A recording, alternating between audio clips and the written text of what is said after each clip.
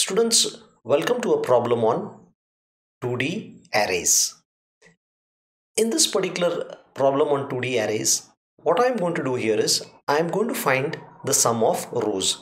For example, if I have a 3 by 3 matrix like this, I have 1, 2, 3, 4, 5, 6, 7, 8 and 9. On the first row it should print 6, second row it should print 6 plus 4 10 10 plus 5 15 on the third row it should print 9 plus 8 8 plus 7 it should print 24 in order to do this this is our first 2d array problem. So i am going to show you how you can go about reading numbers into a 2d array how you can find the sum of the individual rows.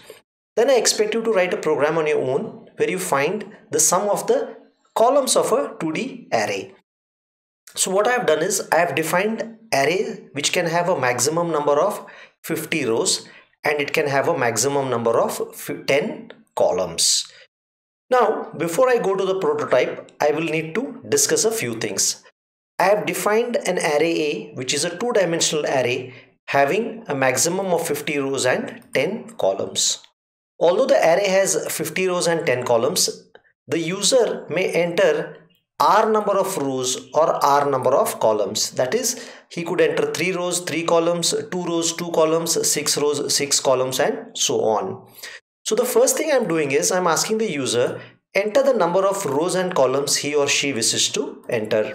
So here what i am doing is in main using scanf i am recording the number of rows and number of columns the user is going to enter. Then i have written a function called as read 2d array. In read 2D array, I am passing the two dimensional array as a parameter. I am passing the rows entered by the user and the number of column data entered by the user. So first look at the prototype of read 2D array. When you're declaring a prototype for now, since we have not learned in detail the linkage about pointers and arrays, Please do the prototype declaration for a 2D array like this. int x number of rows columns and these two integers happen to be rows and columns. So read 2D array int row int column. Now let us see what we are doing in read 2D array. This particular fellow a is represented by x here with rows and columns. Okay, rows and columns represent the maximum number of rows and columns that particular array can contain. But actually r and c will represent the actual number of rows and columns the array is going to contain. Now since i have an array of two dimensions that is length and breadth i require i and j as variables. So i am asking the user enter maybe say three rows and three columns. For starting from i equal to 0 i less than number of rows i am first filling up all the elements in the first row. Then I increase i by 1 then I'm filling all the elements in the second row. Then I increase i by 1 more. I'm filling up all the elements in the third row and so on. So this way you're reading all the elements row by row into an array. This has already been clearly explained to you in an earlier lecture class using slides. So please take a look at that and just come back how you enter numbers into a two-dimensional array.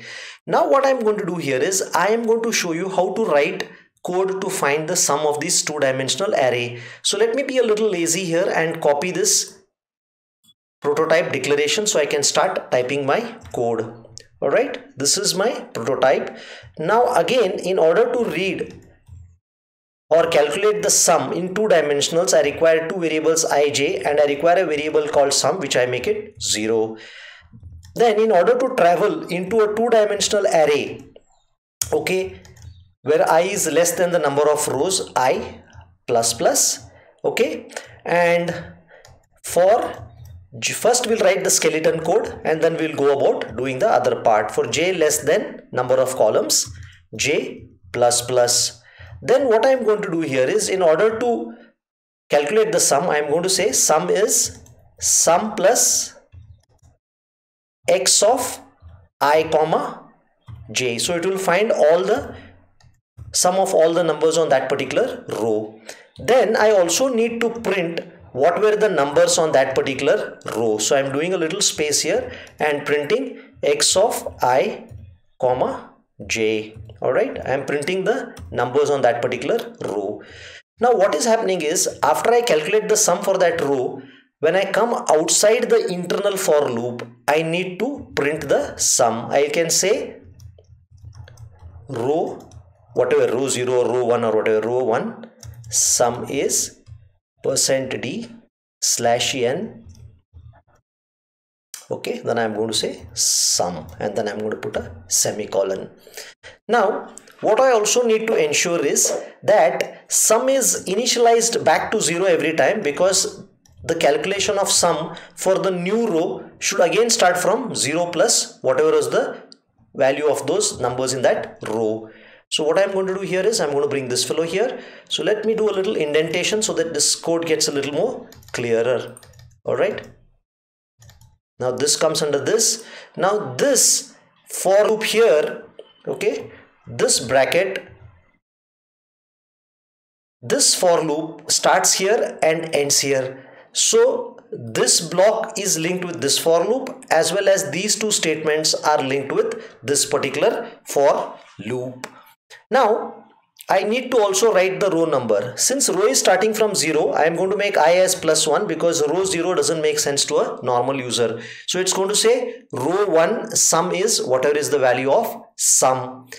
Now we need to end this particular function all right so we need to end this particular function so this is good the way it's going to print the sum let us first try to write a message here saying that sorry printf sum of rows okay? So you know that the sum of rows are being printed all right? So we'll give a backslash here also.